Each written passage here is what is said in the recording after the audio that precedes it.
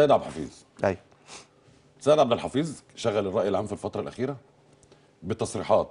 بعض الناس قالت اللي صدر من بق سيد عبد الحفيظ ينزل الاهلي درجة تانية ويشطب سيد عبد الحفيظ وجهاد جريشة. على اعتبار إنه اعترف إن في علاقات شخصية بينه وبين الحكام وبيكلموا قبل وبعد المباريات. فجأة اتحاد كرة القدم أقنع 100 مليون مصري إن سيد عبد الحفيظ ما قالش الكلام ده وإن الكلام ده مش موجود وإحنا سامعينه صوت وصورة. وطبعا ده بيأكد لنا الكرة المصرية ماشية إزاي لا. وبمين. عايز عايز اعرض هقول لك على حاجة. آه الرأي العام ثار بناء على آه رأي رأي- يعني اللي أراه في موقع في الجول. مم. اللي هو كان نصا إن سيد عبد الحفيظ بيقول أنا لغيت رقم تليفون جهاد جريشة من آه، من عندي لأنه كان بيتصل عليا وبيعتذر لي بعد كل آه، مباراة. المعنى ده ما كانش متحقق في الفيديو ال- اللي اتذاع.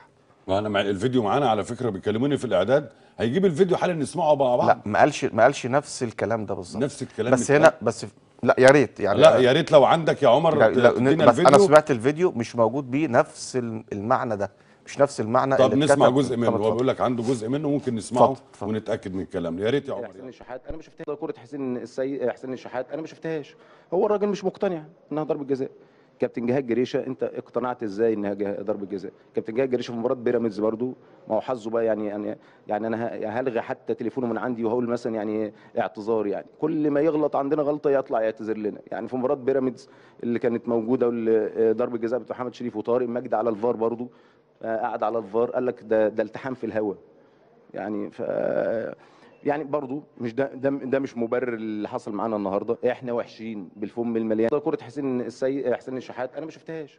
هو الراجل مش مقتنع إنها ضربة جزاء. كابتن جهاد جريشة أنت اقتنعت إزاي إنها ضربة جزاء؟ كابتن جهاد جريشة في مباراه بيراميدز برضو خلينا نمشي. ده اللي بقول لك عليه. خلينا نمشي. طيب يعني خلينا بس يعني أكمل وجهة نظر. اتفضل. وخلينا نمشي ورا آه ال- يعني إيه ال- ال- ال- ال- اللي بيقوله سيد عبد الحفيظ. يعني أنا هاخد من كلام سيد الحفيظ أنا مش ضد سيد الحفيظ ولا ضد النادي الأهلي ولا ضد أي إحنا حاجة. ولا إحنا. طيب هو بيقول بيطلع يعتذر لنا وقال وبرر الكلام دوت إنه بيطلع يعتذر لنا إنه أكثر من موقف طلع في وسائل الإعلام اعتذر عن آه، أخطاء ارتكبها في مباراة الزمالك إن هو قاصد إنه في مباراة في مباراة ال- الأهلي أو مباراة الزمالك. فقال إنه طلع مش عارف في توقيت إيه في مداخلة تليفونية وقال أنا أخطأت مش عارف في إيه وطلع برضه مرة من المرات في التلفزيون وقال برضه أنا أخطأت مش عارف في إيه. طيب فده تفسير كابتن سيد عبد الحفيظ للجملة اللي هو قالها. أنا هصدقه.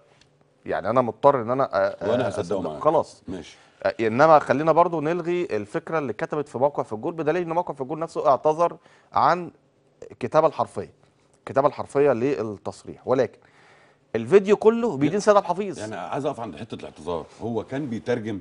لا هو في حاجة بيتكلم عربي يعني. لا لا بص لك على حاجة. انت برضو بتقاطعني ومش عايز يعني أنا عايز اكمل وجهة نظري. اهو أنا هسكت خالص. آه. يعني أنا هاجي لك في حاجتين. هاجي لك في حاجتين. هنفترض وأنا بقول لك أنا ماشي ورا الكابتن سيد عبد الحفيظ ان هو ما يقصدش ان جهاد جريشة آه، بيكلمه بعد كل مباراة علشان يعتذر له وبالتالي هو هيقفل الايه آه، هيلغي الخط بتاعه.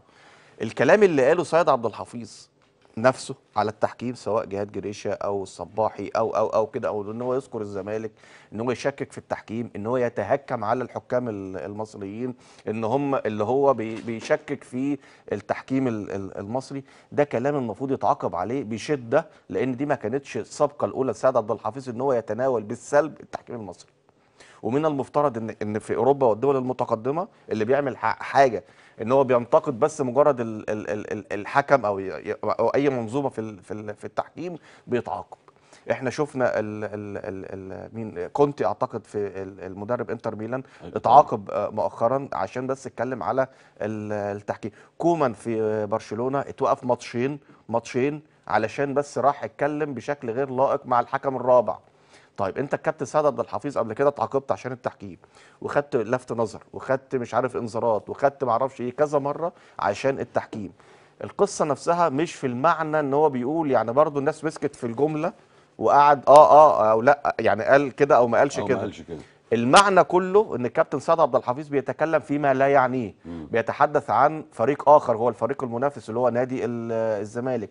بيتهكم على الحكام بيشكك في ال- ال- التحكيم. ده كان يستدعي عقوبة قاسية من آه، اتحاد الكورة أو لجنة المسابقات أو أي لجنة من اللجان في اتحاد الكورة ضد الكابتن سعد عبد الحفيظ لأنه تناول الحكام بالسلب.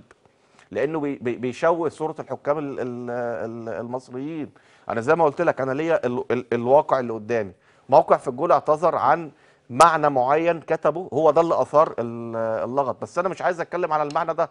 أنا ماشي ان الك- الكلام ده ما اتقالش. عايز تتكلم على اللي دايما ال- الموقف اللي هو عبد الحفيظ تجاه الحكام. شوف الفيديو كله بيتكلم على التحكيم. وفي دي أحداد عليهم قبل كده ما ما. ما هو- ما هو- ما هو طالما طالما بص طالما انت بتتكلم عن التحكيم وبتتهكم عن التحكيم وبت- وبتنتقد التحكيم بشكل مش مش كويس وبتعدي مرة والتانية والتالتة والرابعة والخامسة هتعمل اللي انت عايزه طيب